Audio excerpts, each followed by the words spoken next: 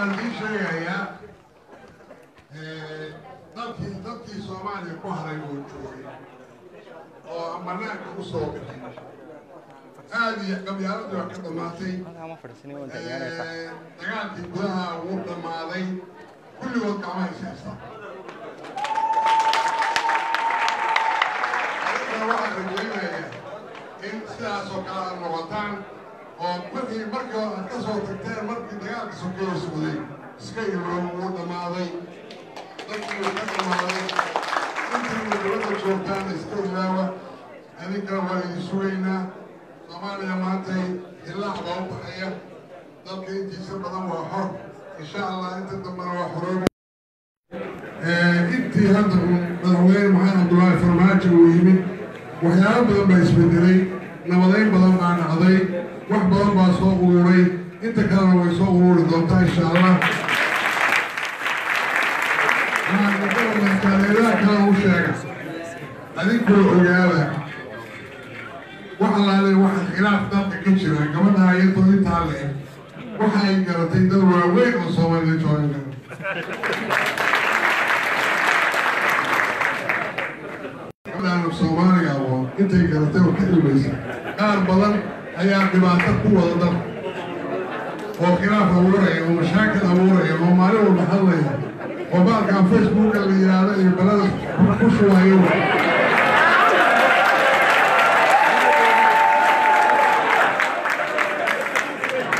facebooka naga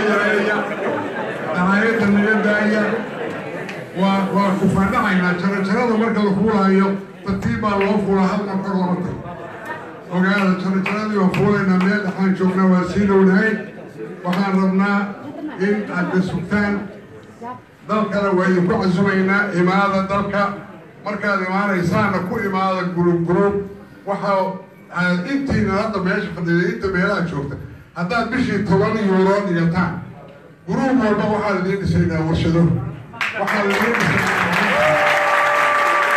waxaan guryo badan baan idiin qaban karnaa haddii aan nahay dalkii dadkii soomaaliya joogay waxaan idiin sheegayaa ku fakara qof walba uu ku fakar carruurta in dib loo soo celiyo la baro dadka inay geel iyo lo-da kala bartaan ma kala yaqaanin hadda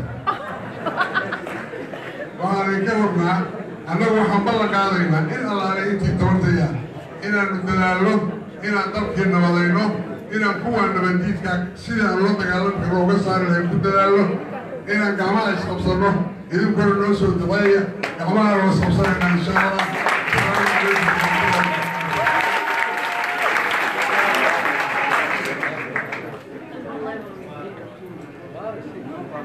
haddana waxaan soo- dhaweeya madaxweynaha hirshabeelle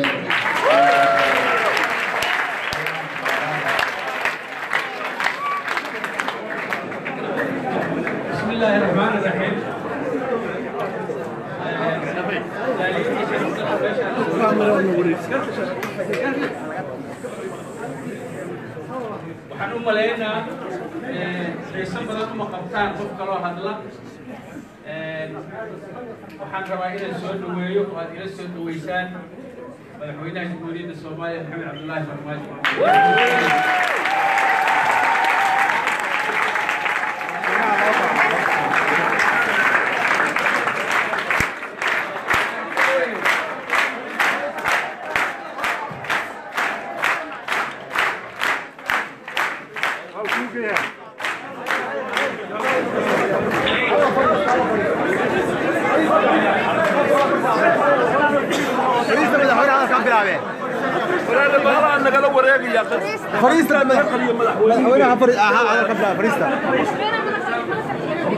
jamhuuriyadda soomaaliya maxamed cabdullaahi farmaajo madaxweynaha mar dhow madaxweynaha qaranka ayaa mar dhow khudbadiisa aynu dhegeysan doonaa insha allah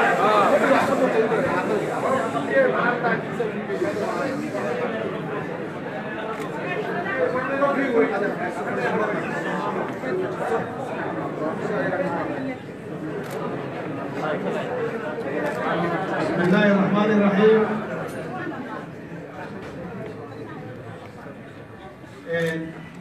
madaxweyneyaal madaxweyne xaaf iyo madaxweyne waale iyo gobolka injineer yariso iyo wasiirka arrimaha dibadda iyo maxaan ku idhahdaa wasiirka gaashaandhigga xildhibaanada labada gole wixii halka ka jooga kulleyba hal senator waa kaa hal xildhibaanna waa arkaa gadaal saara ma joogtaa waa joogtaa ha guud ahaan shacabka halkan isugu yimid oo dee qaarkood laga soo gudbiyey guud ahaan waxaan ku salaamay assalaamu calaykum waraxmat ullahi wabarakaatu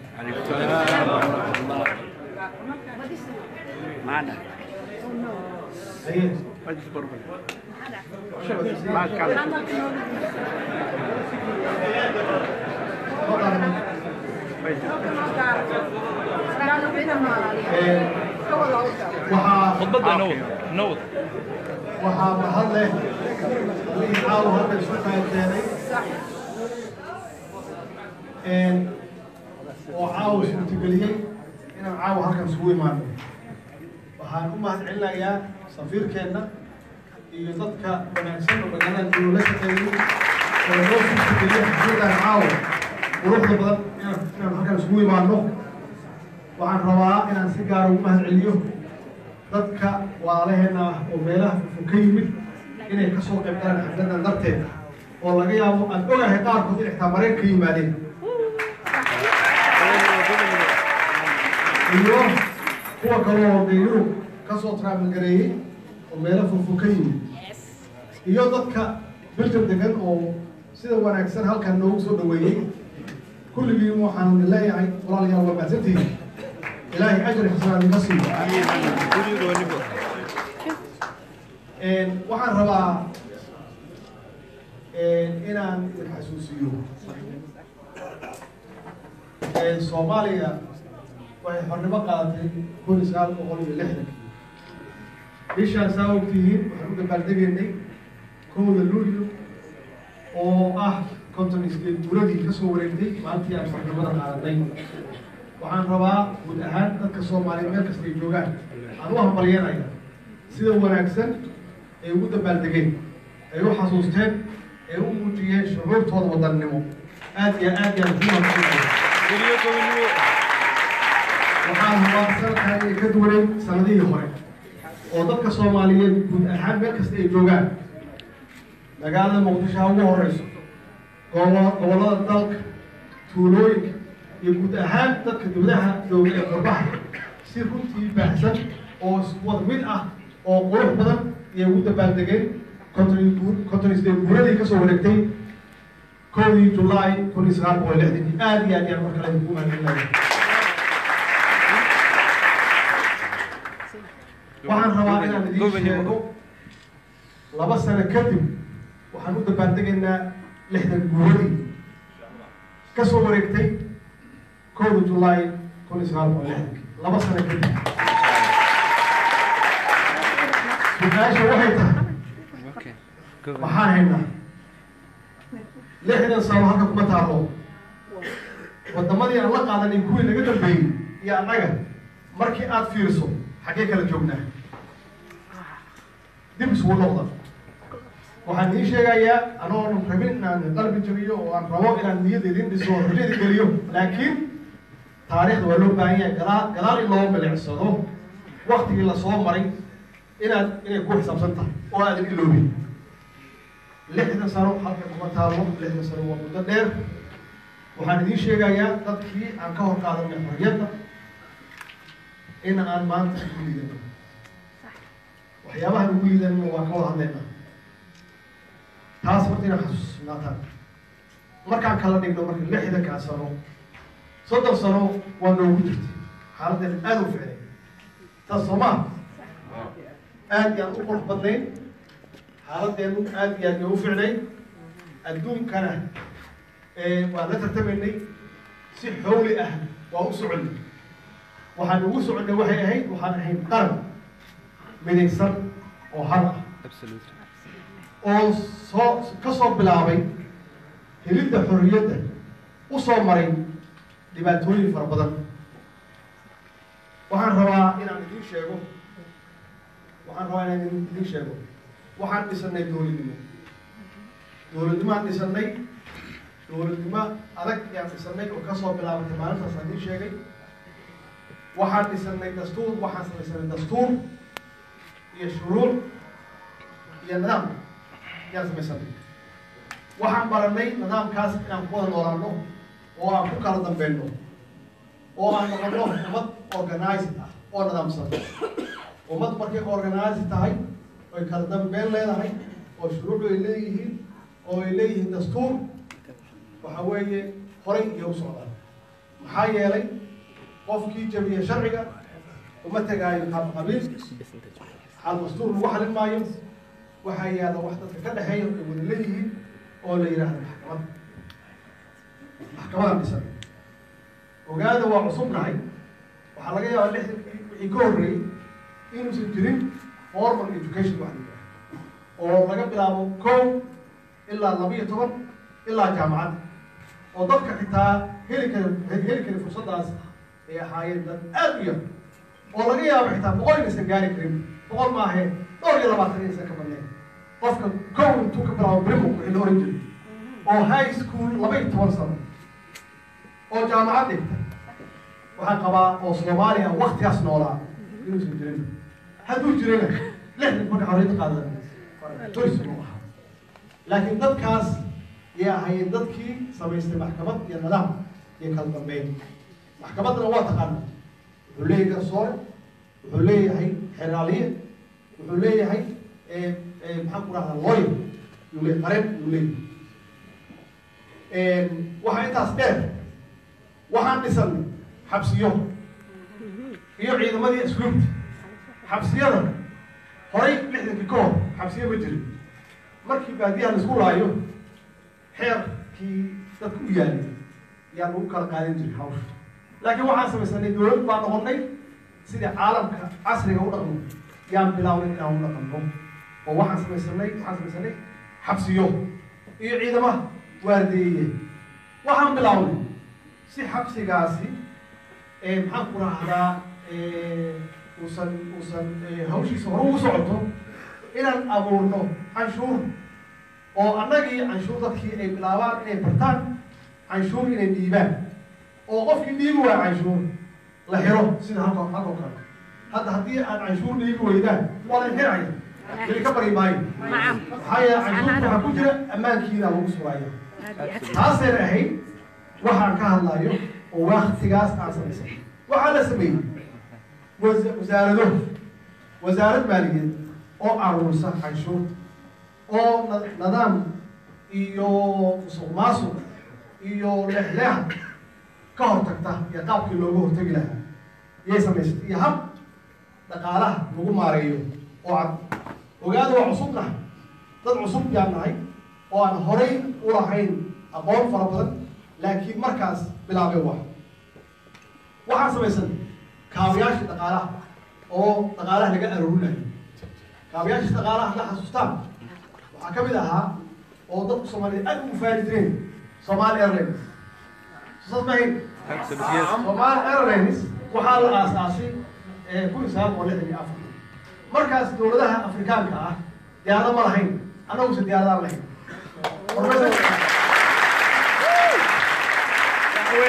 waxaan lahayn biologiyo soomaali ah waxaan lahayn farsamo yaqaano soomaali ah yaan lahayn.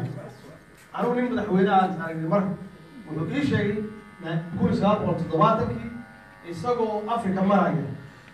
Inuu ka waayey dalalka afrikaanka diyaaradaha qof afrikaana u wada kulli cadaan u wada laakiin wuxuu yidhi markaan diyaaradii soomaaliya aan soo fulay yaan waxaana ku yiri dad madoowa oo diyaaradihii wada. Waa weydii waa soomaali. Hosteska waa soomaali saas yaan africa. Intada intada badan aan aan uga horreynay waxaan waxaan samaysanay oon oon yeelanay hay'adihii dalxiis oo soomaaliya waxaa loo imaan jiray nabadda intay ka badatay dalxiis yaa loo imaan jiray hoteelo waaweyn ayaa ku jira yaa yaa yaa ku yaalla hoteeladaas waxaa ka shaqeynaya ajnabi maahayn soomaaliya ka shaqeynaya soomaaliya yaa ka shaqeynaya waxaa kaloo aan samaysanay waxaan samaysanay wasaaradihii adeega dadweynaha. Adeega dadweynaha oo ahaa caafimaadka cisbitaallo soomaali ay maamulayso. Dhakhaatiir soomaali ah. Kaalkaaliyaal soomaali ah. Wasaaraddii waxbarashada. Markaas in la furay oo la la dhisay waa lixdankii ka soo bilaab ilaa maalintii burburka annaga inaan dhisanay iskooladii maxaan ku dhahdaa iskooladu ay ahaayeen free. Oo qof walba oo iskool aadaya uu ku dhiganayo free. Lacag la'aan buugaagtiisa ya. Dhahdaa ku dhiganayo lacag la'aan waxaa ku xigay jaamacadihii oo africa aysan lahayn jaamacado oo soomaaliya jaamacado lahayd oo dad badan ay jaamacada ka baxayeen oo iga baxayeen iyagana fuskooda iyagoona lacag bixin. Soomaaliya waxaa laga cabaayay biyo nadiif ah. Africa oo biyo nadiifa laga cabiyey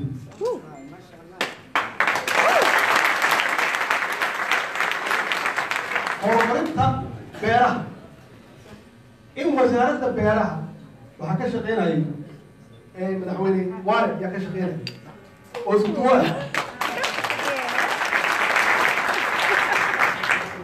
in la xisaabayay wax soo saarka dalku uu ahaa ex- export oo dibadda loo diraayo iyo khudradaha iyo iyo khudaarta iyo wax walbaba la diraayo oo uu ahaa soomaaliya waxa ka soo baxa productiga waxa ugu wanaagsan inaysan jirin abaaro oo haddii abaarey dhacaan oo annagu aan isku tashanaynin sidii abaartii dabadheer oo kale oo aanan dibadda la- la- laga raadinayn macaawino oo dadka diyaarada lagu soo daabulayay oo loo raadinayo nolol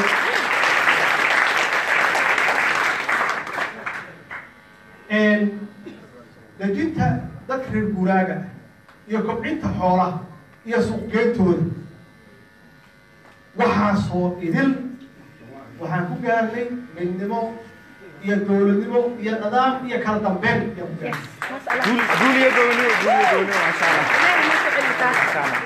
Intaas waxaa dheer horumarinta fanka sporting. Wacyigelinta dadka la wacyigelinayo oo lagu wacyigelinayo waa daris wanaag. Ya wadaniyad lagu wacyigelinayo oo loo adeegsanayo suugaanta gabayada iyo heesaha. Guul iyo gobonimo heesihii ugu fiicnaa waxaa la qaaday lixdankii ilaa dowladii dhacaysa ugu dambaysa soddon sano oo inkastoo aan dhegaysto dhalinyarada hadda haysta yaa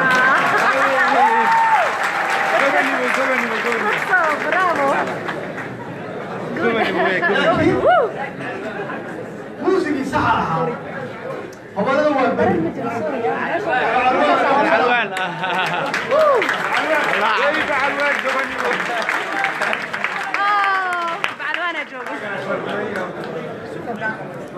nin kaloo madaxweynena aan aya dhow sheekaysan wuxuu igu yidhi heesaha soomaaliga markaan maqlo horey waxaa ka bilaabaa cayaar iyo inaan iyaan faraha saas idhaahdo gobonimo gobonimo waa loo faco heesaa masha Allah madaxweynahaas waa madaxweynaha suudaan اي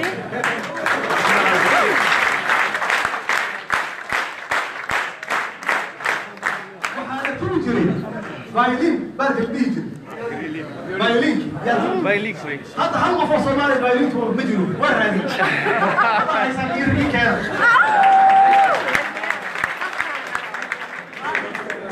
dhalinyaradeena fiican oo codka fiican muusig sahlan iyo meel dhigtaan waxbay garaacaan aad u qurxoon laakiin life ma ah hadday koontaa tagto hadday koontaa tagto waa aamusaya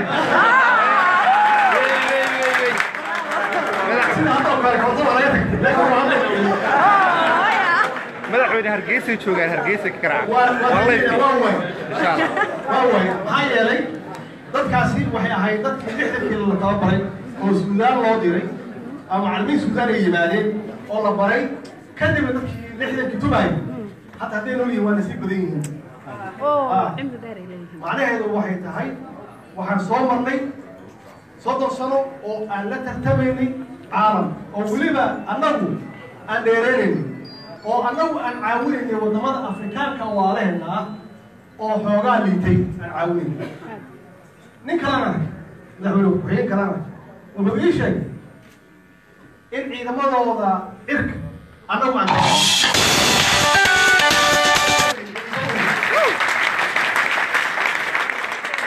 oo pilotka fighter jetska soomaaliya lagu baranaya helicopters soomaaliya lagu baranaya marka macnaheedu waxay tahay waxaan ahayn qaran jiray yaan ahayn qaran jiray ayaan ahayn sportiga markaan dib u milicsano waxaan lahayn koox kooxyadii naadiga Yes. naadiyadii jey horse waxaal wagad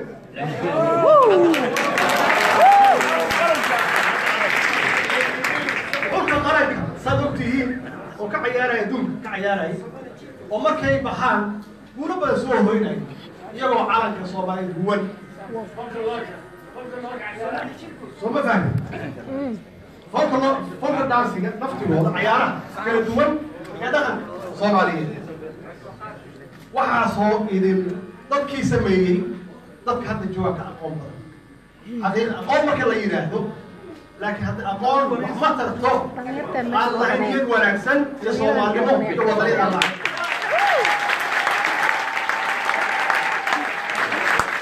waxaa intaas dheer cayaaraha atletiga feerka dabaasha orodka geesiga orodka orodka basketka Wrestling-ka. oo weliba waa ogtihiin inaan inaan inaan dhowr jeer galnay cabdibile cabdibile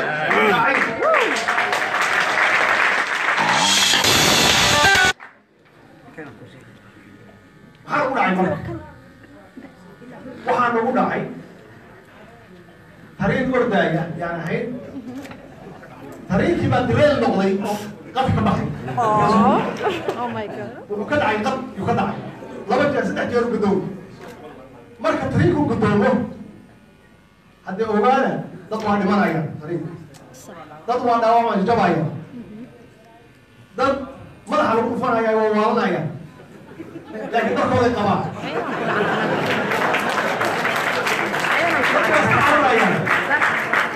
dad waxay isku dayayaan tariinka inay toosiyaan.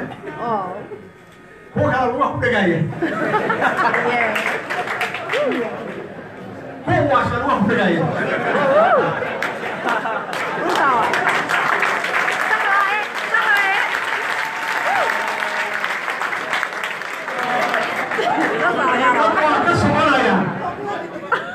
inay wax dhacaan ma moodaan waa ka tageen Wax dumis leh haya. dad dadka dhaawacan dadka dhintay baaranayaan Dhulka ku jiray. dad dadka dhaawacan iyo caawinayaan Yeah. oy maxaan ku dhahdaa istaajinayaano dhabiibayaano oo isku dayayaan inay ay siiyaan first aid ay siiyaan marka society-gu saasaan noqonay marka saas sidee uga bixi karnaa hawshaas Isku duubni.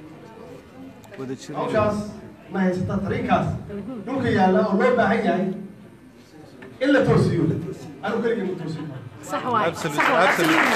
Absolutely right. wasiiradeeda lama toosin karaan keligood dowlad goboleedeeda lama toosin karaan Shicibka.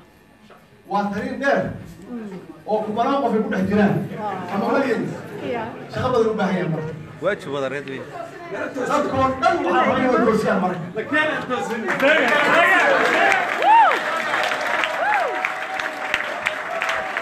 waxaan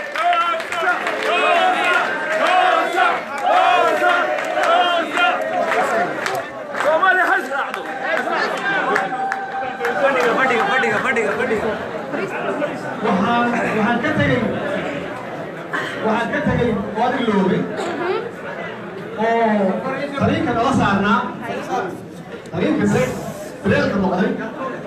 saarnaa.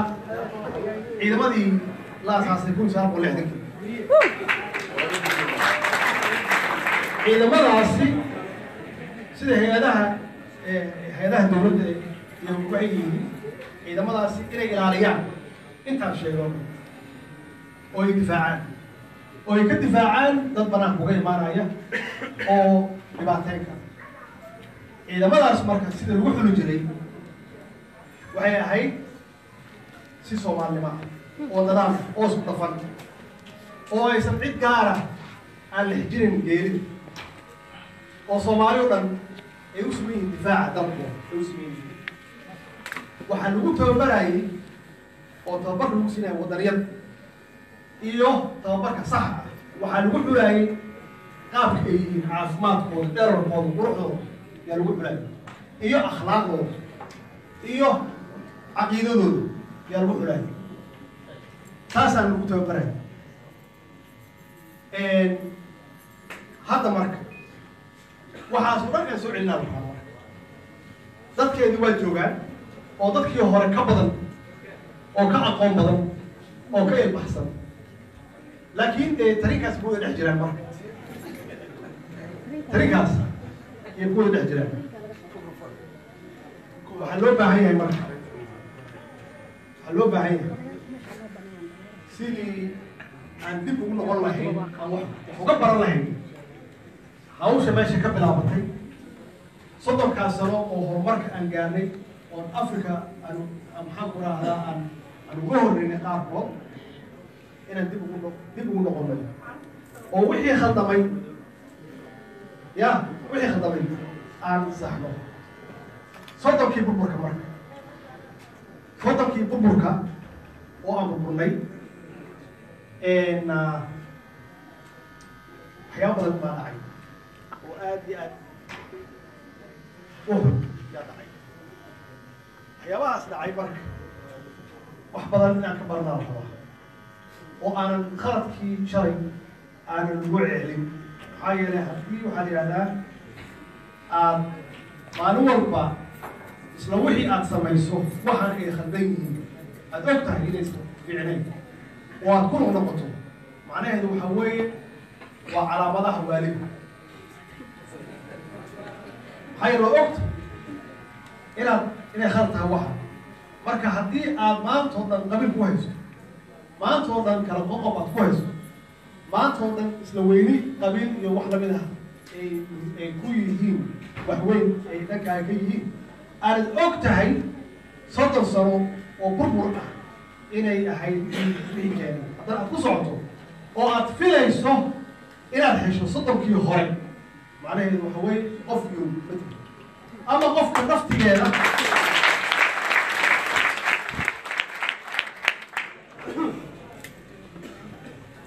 waxaan soo aragnay marka laba qaybood soddonkii sano.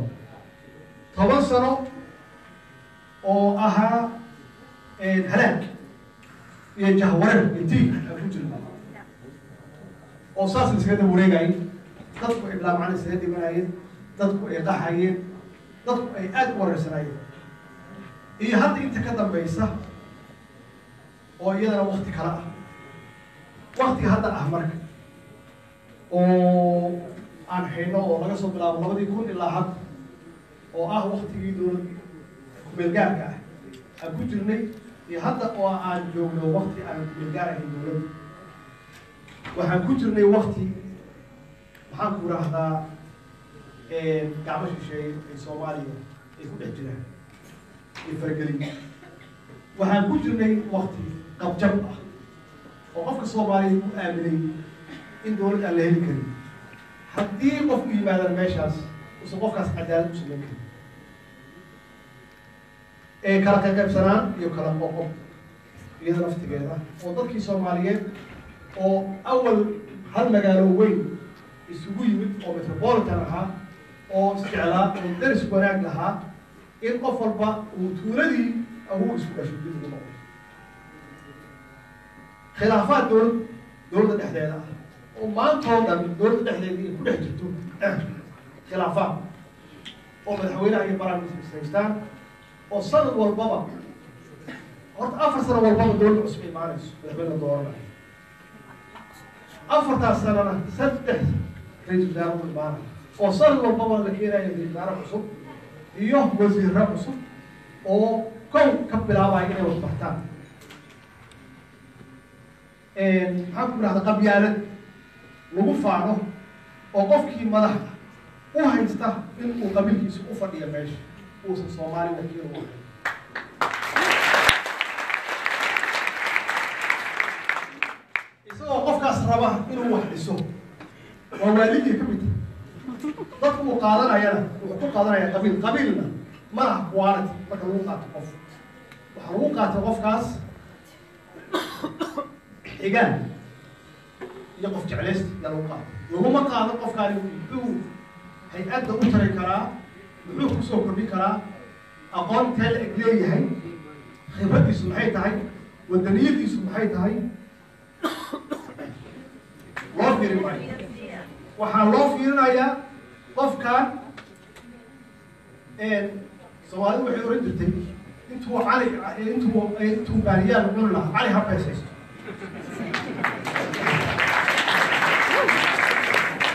qofkaas uu keenay uu ku keenay qabyaaladan qof wax tari kara ma aha qof wax fahmi kara ma aha qof aqoon leh ma aha qof karti leh ma aha qofkaasaa rabaa marka inuu injineer noqdo ama dhakhtar noqdo wax dhici kara ma aha dowladnimadu waa sidaas. Qof aan aqoon lahayn dad ma maamuli karo maamulna ma sameyn karo aqoon iyo u baahan tahay iyo khibrad. Marka musuq maasuq isaga naftiisa musuq waxa weeye waa waxyaabaha nahligay oo maalin walba la sameynayo oo lagu celcelinayo. Oo qofkii meel loo dhigo mas'uul laga dhigo uu bilaabayo isagu inuu wax alla wuxuu soo gaara qaato isagoo filaya sarta sarta dhismanaysa inay dhamaystiranto ma dhici karto. Hadduu darshadii qaatay alwaahii qaatay shamitadii qaatay sarta ma dhismaysa. Ma dhismayso. Dowladnimadu waa saas marka. Dowladnimada wax wax way dadku leeyihiin oo dadka ka dhexeeya oo la isku keenay oo qof loo dhiiba layidhi ammaana way kugu tahay loo shaqee loo shaqee. Marka qofkii ammaanada loo dhiibay oo layidhi loo shaqee isaga hadduu bilaabo kii hoosena joojin maayo. Marka waa xeer tuugo. Wax la dhisaayo ma jirto marka waxbaa la duminaya laakiin qofkaas wuxuu ku jiifaa inay wax dhismaayaan waa qof yuma qof waran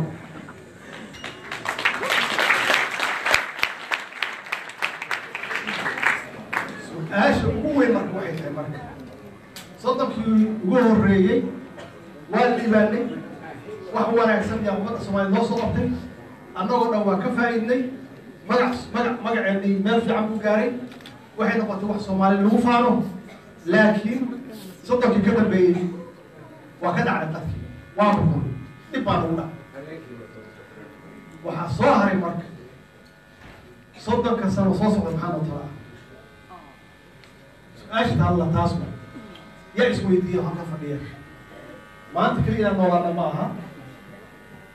Caruur yaan leenahay. Ilmaan awood awood awood u noqon doonaa ma u nahay. Maxaan ugu talagalnay ilmahaas mustaqbalkooda. Ma waxaan ugu talagalnay sidaan kale inay wareersan yihiin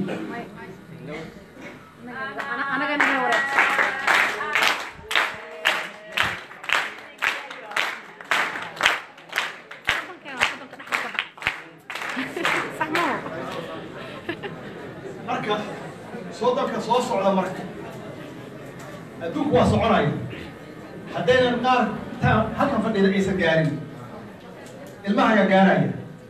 Oo qaar kale halkan fadhiya waa gaari doona duulaa cilmi siiyo maxaa noo talaa marka. Annaga askara doorashada. Cid noo doonaysa ma jirto. Soomaaliya siday noqon lahayd? Soddonka soddonka sano soo socda. Ama waxay noqonaysaa soddonkii hore? Oo fiicnaa? Ama waxay noqonaysaa soddonka aan hadda ku jirno oo laba sano inooga hartay yay noqonaysaa joyceka annagaa iskale joyceka idinkaa iskale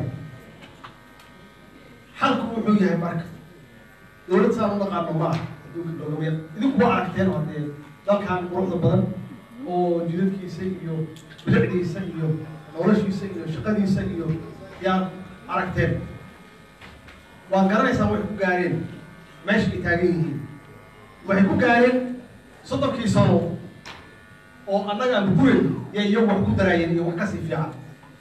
Maxaa yeele waxay fahamsan yihiin dowladdu waa wax ummadda ay wada leedahay oo ummadda ah.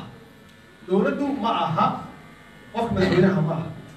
Xil gaara sax weeye waa adeega madaxweynaha oo xil yaa saaran dadkii uu isku abaabulo oo organize gareeyo oo wacyigeliyo oo uu tuso wax wanaagsan yaa laga rabaa laakiin qof walba oo soomaali ah mas'uuliyad yaa ka saaran dowladnimada maxaa yeele dowladda waa idinka.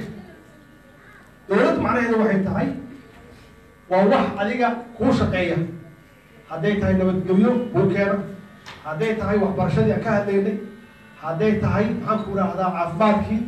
Had wax walba laakiin dee cirka ka keeni mayso dowladda waxay waa waxa adinka aada u dhibateen. Soo idinku canshuur ma bixisaan haddayna canshuur bixin lahayn dalkan san ma ahaadeen. Waxbaa ku darsateen marka. Markaa wax ku darsateen wixii aad ku darsateen ee idin maamulaan oo si wanaagsan ugu maamulaan. Hadday si fiican maamuli waayaan xeer iyo nidaam iyo system u yaalla dimuqraadiyad ah waa la bedelaya systemkaas haddii la arko nin corrupt ah oo ummadda waxay isku darsatay jaabka gaar u gashta oo guryo ku dhista waa la xira waa la xiraya xabsigu aadaya soomaaliya maxaa ka duwan marka weliba annagoo islaam maxaa naga duwan waxaan idiin sheegayaa marka soddonka soo soddonka soo socda koob waxaa loo baahan yahay saan sheegay ninka madaxweynaha ah iyo madaxda halkan fadhida ma ah rulers ma ah dad xoog xukun ku haya ma ah waa adeegayaal. Adeegaan idinkaan idiin adeegaya dadka bixiya canshuurta adeegaya waa waqti kooban oo yar. Oo ah rabitaanka dadka ka yimid ma aha inaan ku fadhinayo xoog iyo jaceylkayga ma aha ma aha waxa weeye rabitaanka iyo judgmentigiina oo aad rabtaan iyo waxqabadka iyo kasbashada aan kasbanno. Darteed ayaan ku joogi karnaa macnaheedu waxay tahay idinku haddaad rabtaan qof xun madaxdiinu idinku haddaad dad xun tihiin madaxdiinu waa haddaad dad fiican tihiinna dowladdiinu waa fiicanaysa madaxdiinu waa fiicanaysa marka waxa weeye annaga inaan nahay adeegayaal marka aniga marka astaanta adeegaha waxaan u aqaanaa saddex arrimood oo keliya mid afraad qofkii ii keena khayr allah siiyo kow waa ammaanada waxaad ummaddu ay isku waxay is waxay ummaddu kulli ay aruurisay oo laga qaaday in ammaanada loo hayo oo sidii taa loogu hayo oo si cad ah oo waxyaabaha hadda halkan maanta aan ugu nimid oo european unionka iyo world bankiga ay bilaabeen inay nagu aaminaan oo kalsooni aan kaga helnay maxaa yeele waxay arkeen dhaqankii ay yaqaanoon oo wadamadooda ay ku dhaqaayeen inaan wax ka bilaabnay laakiin shaqo badan ay noo hasan tahay. Marka awalba lacagtaan way hayeene waxay rabeen waxay waxay isku dayayeen inay nagu encourage gareeyaan nagu dhiirigeliyaan inaan qaabkii u dhaqmaan oo dadkooday u maamulaan inaan dadkeena u maamulno khasab kuma lihi waxayna siinayaan ogaada. Aaba aabayaasheenna ma aha adeeradeenna ma aha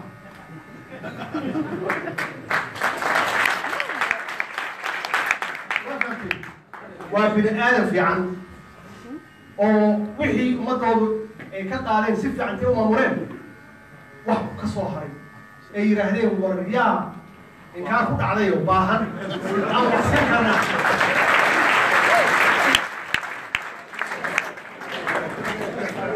yaa wax siin karnaa waxay raadinayaan adduunka marka. Ciday wax siin lahaayeen.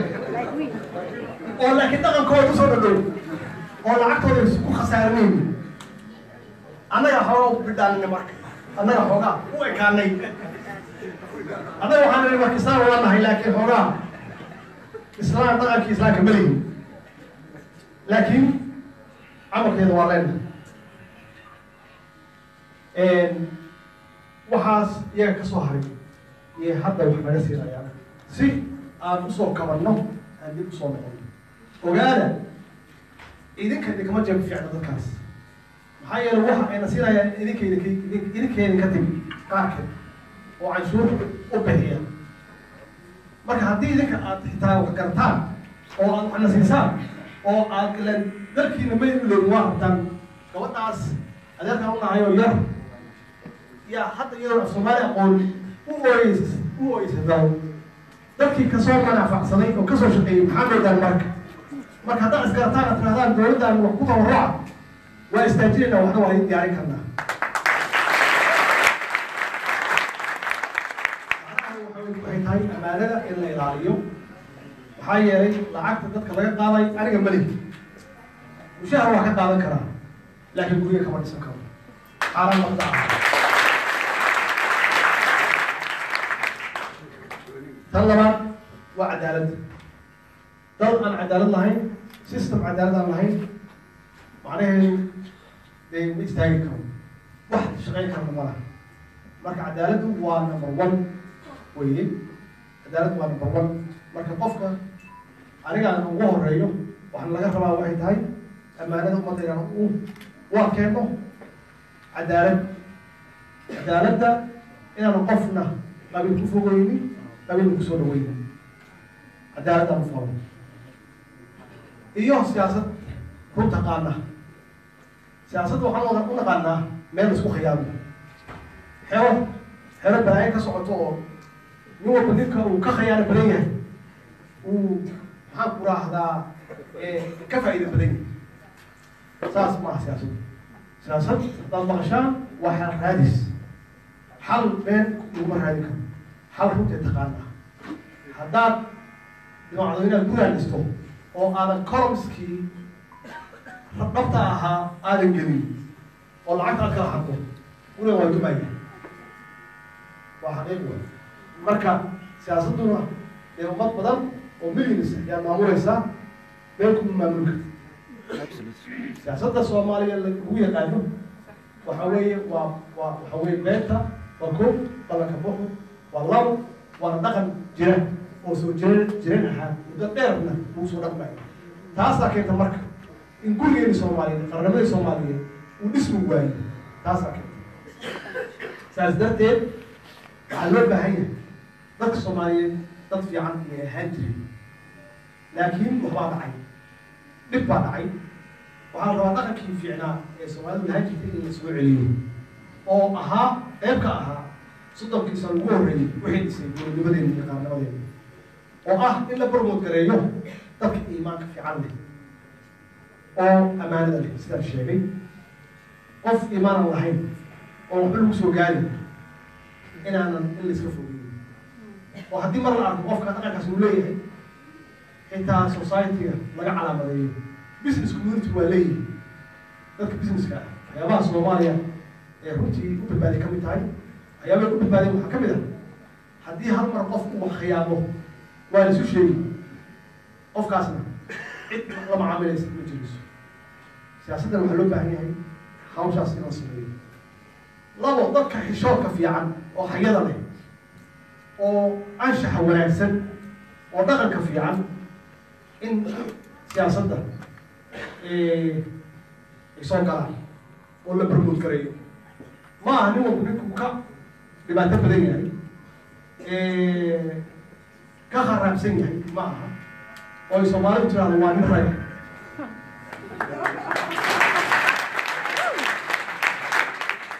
Oo cadkiisu goostaa.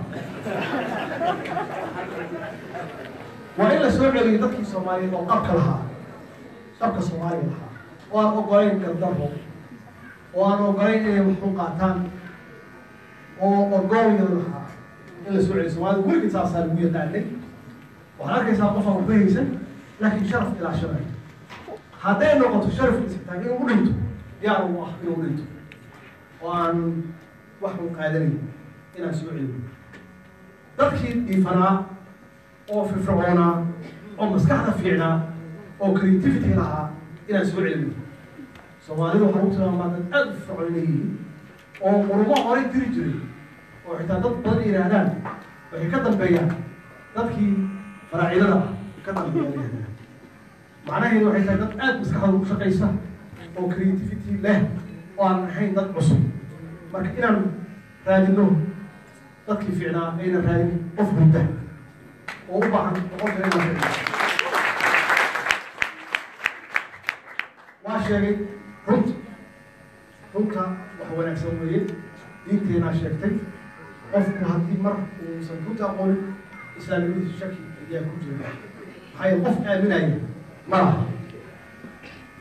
Geesi soomaalidu waxay ahaan dad geesiyiin oo riski takers inkastoo dee riskiga xitaa badanaaba oo aada loo qaato usan fiicnayn oo taxadarka loo baahan yahay laakiin waxa lagu ammaano weeye soomaalida geesinimada waxaan idiin sheegayaa annaga askarteena runtii waa askar aad iyo aad u fiican.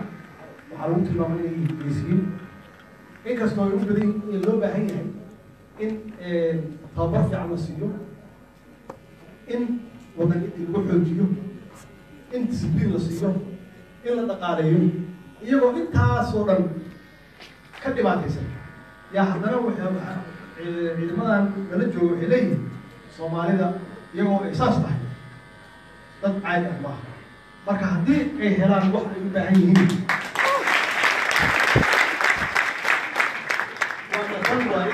matal yaa nisiinaya laakiin in la raadiyo dadkii geesnimada fiicnaa tan ugu muhiimsan wadaniyad wadaniyad in laga xishooda maaha wadanigu waxa weeye qofka dadkiisa jecel dalkiisa jecel oo aanan horar ku ahayn ummado kale inuu dhibaateeyo laakiin gurigiisa ilaashanaya difaacanaya diintiisa difaacanaya dariskiisa iyo dagaalkiisa difaacanaya dadnimadiisa difaacanaya taariikhdiisa difaacanaya wadani waa kaas. Laakiin qabiilaan difaacin maxaa yeele qabiilku waa meel hoose? Qabiil qaran kuma keeni karo. Laakiin markii aad qaran hesho qabiilkaaga waa ku noolaan karaa. Laakiin qabiilkaaga qaran ma dhisi karo.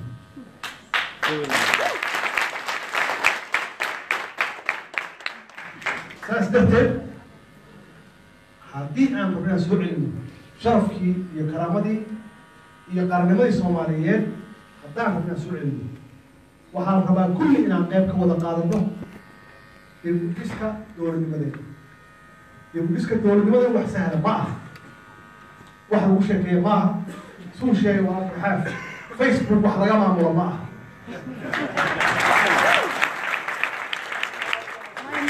dowladnimadu intaas waa ka culusta qof la caaya ma aha dowladnimada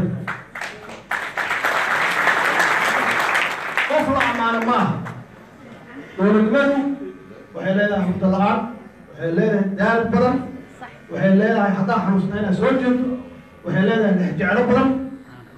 Wax sahlan ma aha. Marka soomaalida waa naqaanaa marka la yihahdo reer hebel yaa lagu soo duulay. Reerkaasi kulli waa wada kacayaan islaamaha xitaa waa waxay rabaan in dagaalaan wadaniyadu waxay tahay marka la yihahdo dalkii marka la yihahdo qofku soo istaago. Laakiin markuu maqlo qabiil inuu yihahdo balukaadi sida wax yiraan fiirin. Laakiin caadadii xumayd oo qabiilka loo kacayay oo loo dhimanayay dad badan baa u dhintay oo dhulka maxaan ku rahdaa loo loo aasay. Dalna ma hayno weli. Magac fiicanna ma hayno. Dad badan waa naga lacdeen bal ka intaas hadday wadanimid wadanid u dhiman lahaayeen. Magacooda iyo taariikhdooda meelaa lagu qori lahaa. Dalkaana meel sa u gaari lahaa.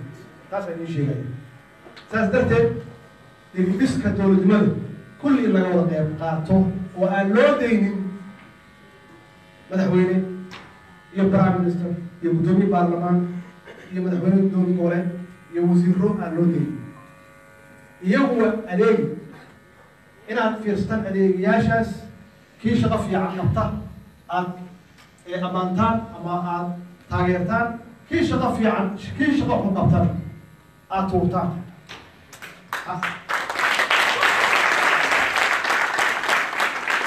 haddaba waxaan qorsheenaynaa si aan dowladdaas u dhisno oo two thousand twenty hadduu ilahina gaarsiiyo oo dowladnimadeenni dowladnimadeenna ay lixdan jirsanayso waxaa la rabaa soomaaliya in insaan ka duwanaato laakiin wa waa inaan ka wada qayb galno. Dib dhiskaas inaan kulli kulligeen ka wada qayb galno.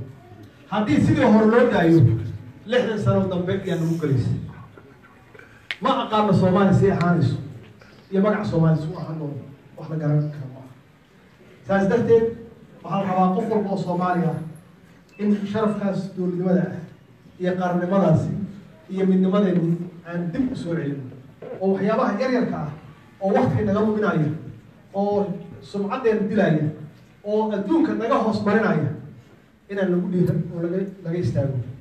Waxaan qorsheenaynaa marka hadduu ilaah yidhaahdo labada sano soo socota hadduu ilaah yidhaahdo inaan xoog ka saarno dib u dhiska dalka. Dib u dhiska inaan dib u soo celinno oo qof walba oo soomaaliya jooga aan idhaahno wiigii laba saac geli oo adigu iskaas isku xilqaantay isxilqaan waxa la yidhaahdo inaan inaan inaan bilaawno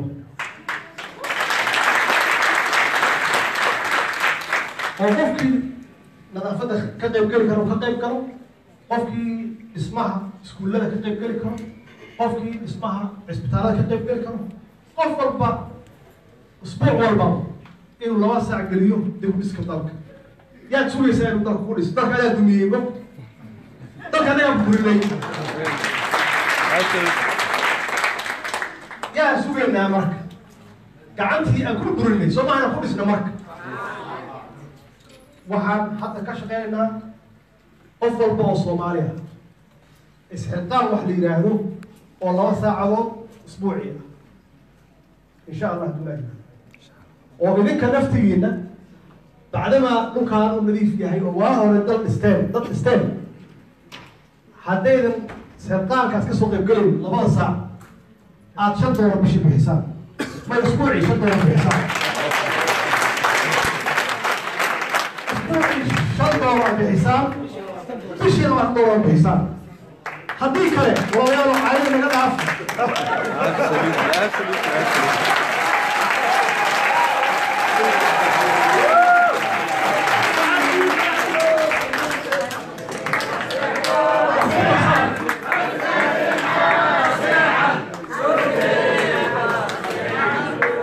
maasha allah wax ku darsada kadibna wax naga sheega laakiin nin meeshaas ka fadhiya oo starbucks fadhiya oo xagga ka monitor oo wuxuu og yahay tahay hal qeybo yar. Laakiin mooda wax walba inuu og yahay. Cadaalad sameeya. Wax ku darsada dalka. Dib wax ku darsada. Shan doolar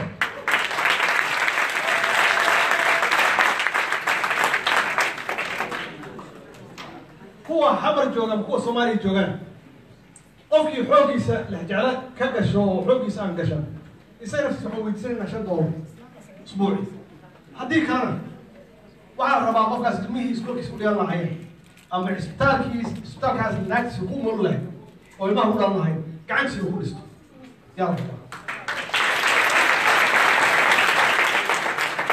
dib u dhaqaalaha. Dhaqaalahan dib u soo dhisno. Soomaalidu waa dad maxaan ku dhaha ganacsata ah? Kulligood oo traders ah inaan encourage garayno dadka ganacsatada ah aan u fududeyno aan u keenno bangiyo shisheeye ay soomaaliya yimaadaan ay furtaan ay siiyaan deyman ay siiyaan. Kuwa soomaaliya jooga naftigooda bangiyada aan ku dhiirigelin deyman bixiyaan oo aan xoojino ganacsatada oo aan badino dadka ganacsanaya aan badino. Maxaa yeelay iyagaa laga rabaa shaqa abuurka. Iyagaa laga rabaa shaqa abuurka. Dowladda keliya maaha wax shaqa abuurta. Waxaa shaqa abuura ganacsatada inaan xoojino dhaqaalaha marka. Si kasta aan xoojin karnana ama european unionka aan raadin ka raadino qaab ay soomaaliya investment ugu sameeyaan ama ganacsata european ah ama maraykan aan raadino ay soomaaliya maalgashadaan iyo dadka diasporaha oo oo xoogaa wax meel dhiganaya waa garanaya dumarka. Waxay ku jiraan cayuutooyin fara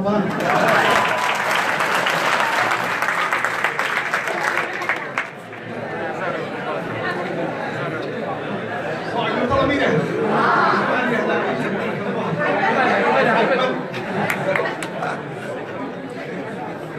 maalgashada dalka maalgashada marka qof walba inuu qalbi ku hayo dalkiina dal fiican waa anaa idiin sheegaya dalkiina waa dal fiican dalkiina waa dal fiican waxaan hubaa caruurtiina inay ku soo noqonayaan. Idinka iska dhaaf. Maxaa yeele waa aragtaa meeshan siday tahay? Dolar kasta ku hayso wax guriga kaaga fiican male laakiin guri aadan dhisan uma guri kartid aan wada dhisano aan wada dhisano tan ugu dambaysa oo muhiimka ah waa dib u xoreynta dalka. Dalkan waxaa loo soo diray qorooyin soomaali ah oo ka tirsan alqaacida iyo isis. Shaqay wadaan shaqay ku dhex jiraan. Shaqay ku dhex jiraan waxay tahay inay idinka halkan idinku hayaan. Oo qabow idinku hayaan. Oo halkaan aad ku dhimataan wax kale ma aha. Waxay ku hayaan kuwa soomaaliya jooga inaysan nolol helin. Inaysan nabad helin. In carruurta soomaaliyeed mustaqbal lahaan. Carruurta soomaaliyeed inay qaxaan oo tahriibaan oo badaha iyo cunto inay dowladaha dariska aadaan oo ay qaxooti aadaan. Kuwa badan ee xabsiyada galaan dibadaha oo dalkaasi laga qaxo waxay dilaan iyo wax ay baabi'iyaan iyo waxa ay xasuuqaan ka dhigaan oo curyaamiya waxa ay ku shaqeeyaan waa siyaasad soomaali aysan lahayn siyaasad shisheeya ku shaqeeyaan. Marka ay soo duubaayaan ay leeyihiin intaanan qarax ka samayn intaanan qofaan dilin. Macnaheedu waxa weeye report ay bixinayaan dadka xukuma oo dibadaha u fadhiya. Yay siinayaan report ay leeyihiin arka inta qof aan maanta dhiigooda qubnay inta qof aan leynay inta hanti aan burburinay sidaan waxyeelnay arka waxaa leeyahay waayo shaqo fiican baa qabatay marka. Reportku waa fiican yahay. Isbuuca soo socdana hala arko waxa samayso dadkaasi dad waxa weeye runtii loo soo diray dalka soomaali dadka inay ka dhexiyaan oo ay keenaan dhaqan cusub ay keenaan diin aan la aqoonin aan islaan ahayn. Saas darteed waxa weeye sidii waagii xornimo doonka la ahaa qof walba oo soomaali ah inuu ka qayb galo la dagaalankooda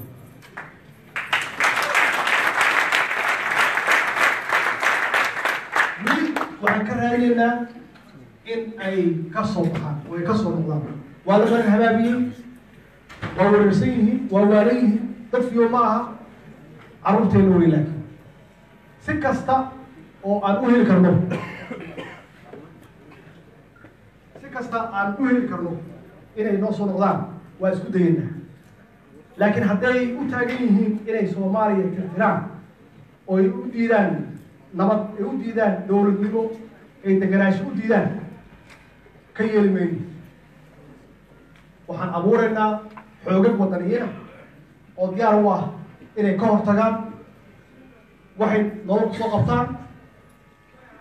noqoto iyo wax waddanka ay ka ka qaxiya ilaa annaga raba in la qaxiyaan waxaan rabaa marka inaan siiyo report gaaban waxyaabaha noo qarsoomay halka sano bar tii hore aaraar guud iyo iska ahayd iyo dardaaran waxaan ii sheegayaa halkii sanay bar aan joognay ee wax badan yaan isku daya inaan qabanno wax badanna waa noo hagaagin wax badanna wakti ayuu baahan yahay. Dal dumay hal sano iyo bar kuma dhismi karo. Weliba sidoo sano ma bursanaa dhaqaalihiisu uu uusan jirin. Maxaan ku idhaahdaa system adag uusan lahayn.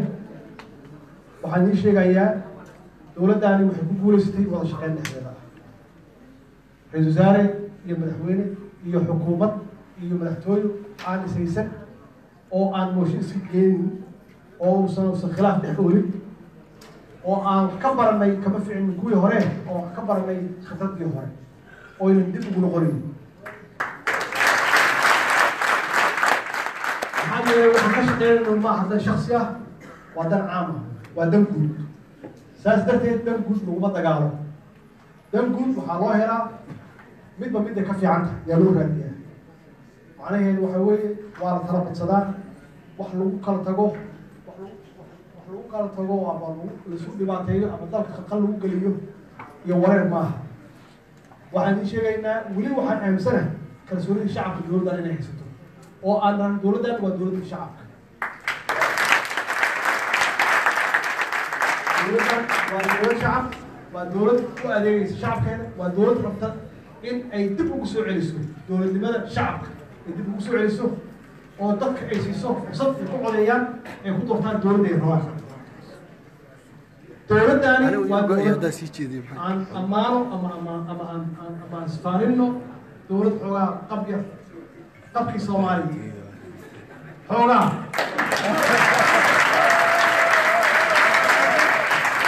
Isku dayeysa oo odhan karta war maya.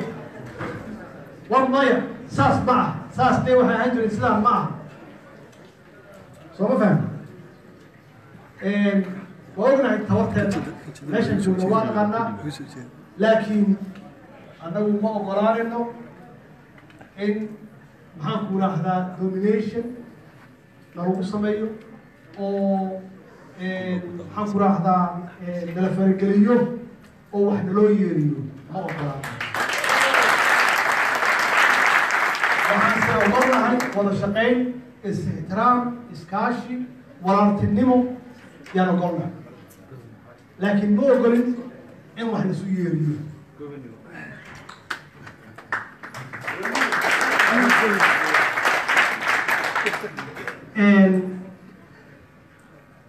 waxaan sameynay markii aan tagnay meesha inaan raadino tariinkii buuray weeye.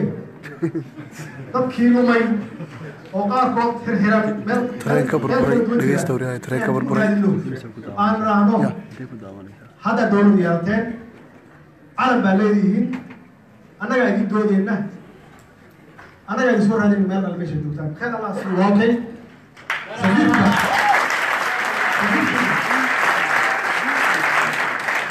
yaan u xil saaray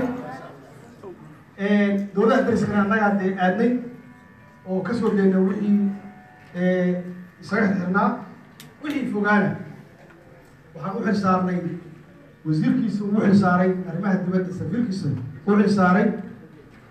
Maxaan ku idhaahdaa libiya iyo meelaha kale baan la garanaynin inuu wax ka raadiyo dadkii ka raadiyey soomaaliyeed oo nolol raadiyey oo dalkooda ka soo qaxay laakiin si xaqdarra ah meel ugu dhibaataysan. Oo sugaya dowlad soomaaliyeed iyo calan soomaaliyeed oo dib u soo raadiya oo ka wardoona indiya sidaas oo kale dad badan ayaan ka soo deynay oo muddo isaga xirnaa. Haddii la yihahdo dowladdan waxaa aniga maalan markaad weydiisaan labada wax oo ugu fiican qabateen waxay tahay qabki yarka ahaa oo aan ihi soomaaliya soomaali baa leh iyo dadkaas maxaabiista oo dhibaataysan oo aan raadiyey waxaa intaas dheer kalsooniya caalam burcadbadeeda markabkaasi haysataa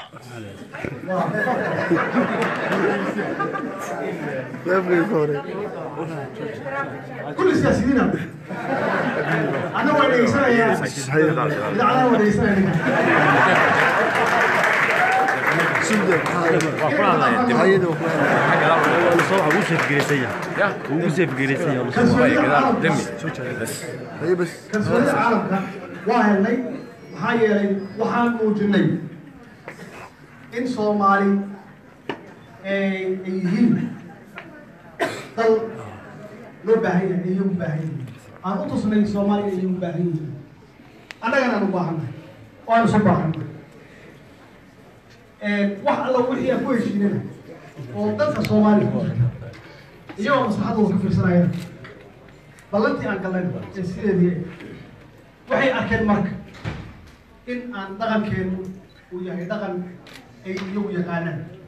Oo haddii wax lagu ballamo marka hore runta u sheegayna dadka alle waxaan ma samayn karno waa sidaan idiin sheegaan leeyahay qafka walaalayaal waxaan ma samayn karno anagu adag haddii iyo aan samayn karno maslaxad soomaaliya ku jirtana inaan fulino kalsoonidaas caalamkaana waxaad moodaa in wax badan iska bedelay oo tii maanta dhacday iyo shalay yaa markhaati ah in caalamku ay noo furfurmayaan ay noo aqoonsanayaan inaan nahay dowlad soo kabanaysa oo cageeda ku jiraayo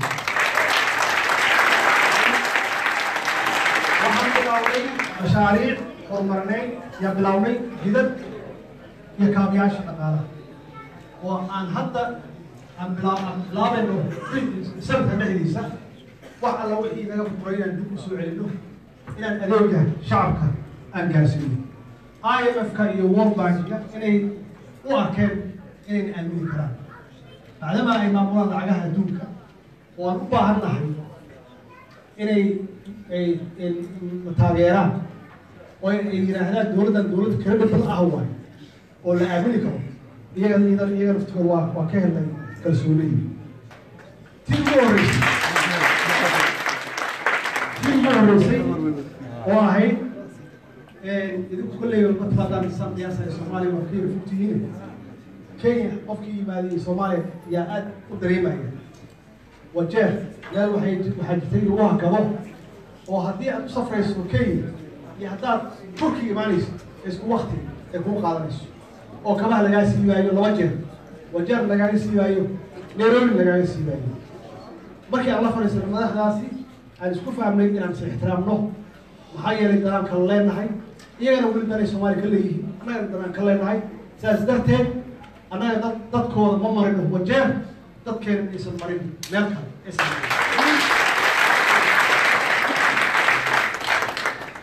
waxaa kale oo muhiim ah oo aan ka shaqeyna dib siiyo walaalkay xaaf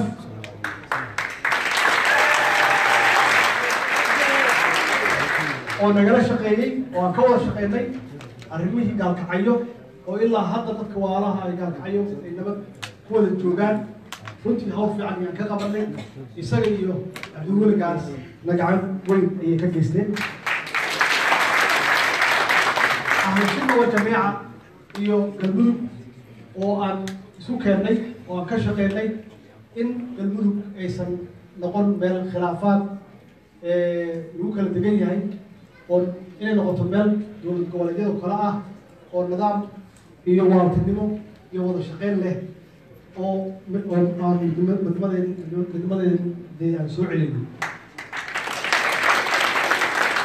Waxaa intaas dheer shabeellada hoose oo dadkii waalaha ahaa oo deganaa aan ka shaqeynay dib oo meel fiican aan ku dhamaystirnay oo halkaasi aan isku soo dhaweynay.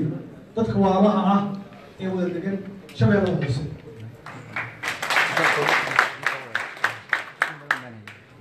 Intaas waa inta ugu aan tataaban kara hadda si dhaqsiya aan u sheegi karo oo aan qabano oo qabanay intii aan joognay. Wax badanna waa aaminsanahay inaan qabanay waa kaas waa arrinta arrin xasuusiyey inuu si joogta u helo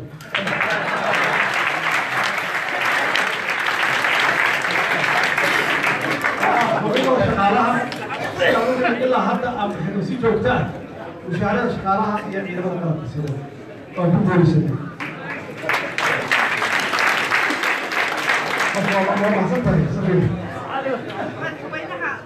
kale mar waa ugu soo waxyaaba badan ay jiraan laakiin wixii ka habsana idin sheegayo arrimaha hawada waan soo celin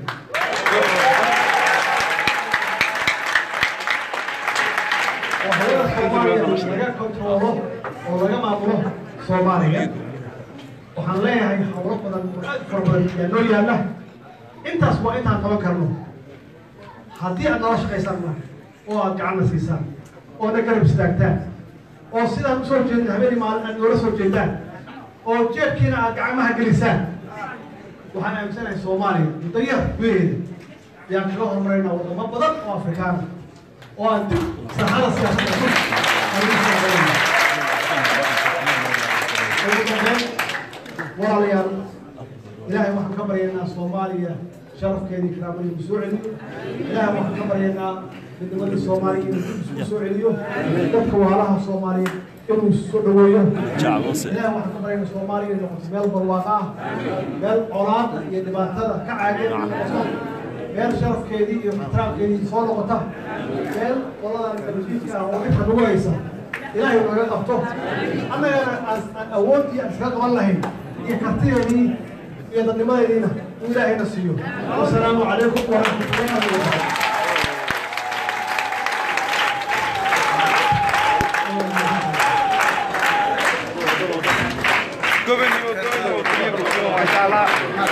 ummadda soomaaliyeed meel aad isku tiinba waa adeer baan u salaamayna waa cabdisalaan salmaan dabcan madaxweynaha maasha allah way noo dhammaatay khudbadda si qurux badan bay noogu dhammaatay madaxweynaha waa mahadsantihiin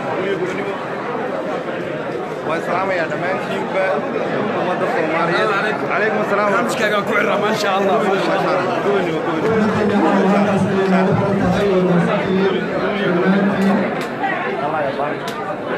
salaamaya maasha allah wadani baa tahay wadani baa tahay madax نوله ودني بعد ودني بعد هاي نوله ستة من الله عفوا ستة من الله فضح عن نفسه ستة من الله والسلام من قولي قولي وصلوا وأنا غير بلجن وقتها غير سنة هاي قولي قولي شرفه قولي جينا يعسك يا كرامه Guayashale, el público uno va tras el menú. Bueno, Guayashale, ah. Ah. السلام يا بس بس ما شنو ولا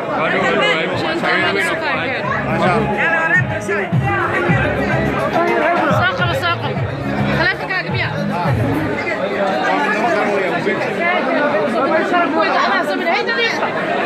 ساقر ساقر عبد السلام جدربان عبد السلام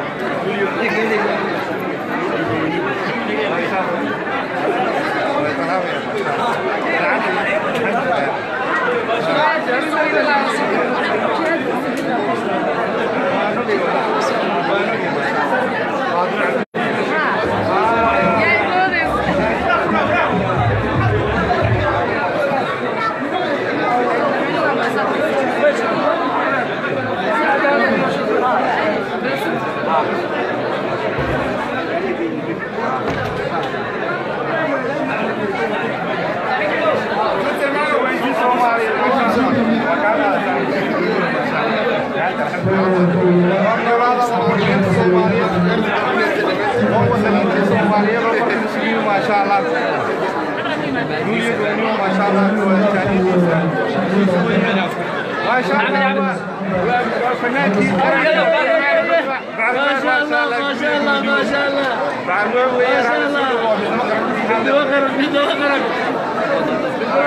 ما شاء الله جميلة وين يضرب ما شاء الله وربي وضعتها ما شاء الله قولي قولي ما سنتها شكرا. هيا ولا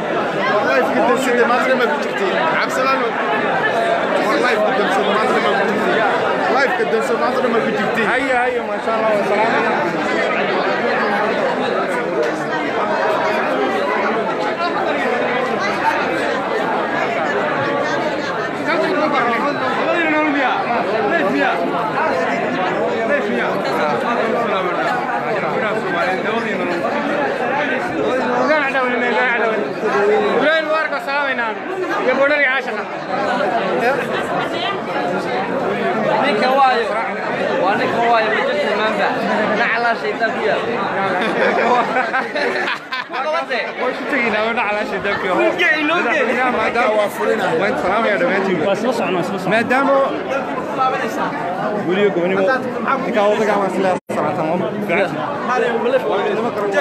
salaamayaa oo mideeya مادام من الحوين المدي ونويمي ها واجت المانع نحن نقدر عن نعم كيدنا نبغى نعم كيدنا هاي ولا ما هي كل يوم نعم ما تصومات هاي سبعة هميدو هميدو دو هميدو دو هالشينة أو يسكرون ما شاء الله والله ما تيجي نروح شو وكا وكا وكا تاسانو بلعة كده بلعة كده